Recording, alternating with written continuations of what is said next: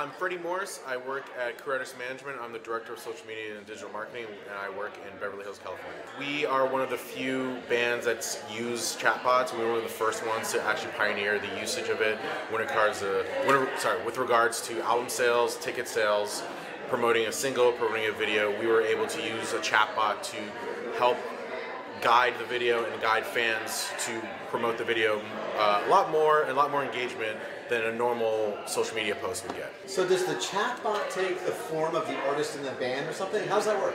It, it takes the form of the email list. I feel that the band doesn't get the open rate that it used to get with email marketing, and this is a direct con- to consumer like conversation you have with a fan that you wouldn't have with an email that you're saying, "Hey, here's my video, go click on it." This is a direct conversation that fans feel like they're part of the marketing campaign.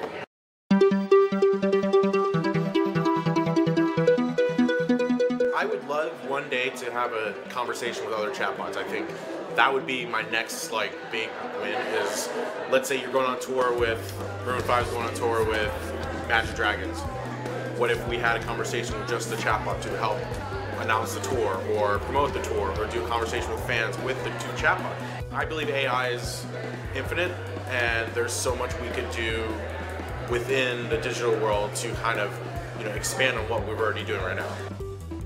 It, you know the world's endless, I think, and you know it's a really cool technology that a couple years ago was brought to me and we tested it out on them and it worked great.